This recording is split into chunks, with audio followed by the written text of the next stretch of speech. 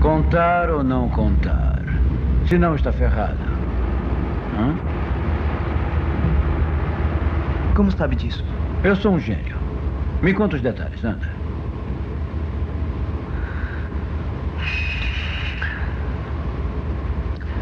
Tem um cara na escola, o Harry. Ele é um cara muito rico. Ele é o manda-chuva. Quem mais? Tem um outro, George. Mas o George não fez nada. Eu e o George vimos o Harry e os amigos fazendo uma coisa. Agora, o pessoal da Bird. Eles sabem que você e George podem identificar os culpados? É, eles acham sim. George é seu amigo? Ah, amigo não, mas é um cara legal. Confia nele? É, acho que sim. Ele também tem bolsa de estudos? Não, por quê?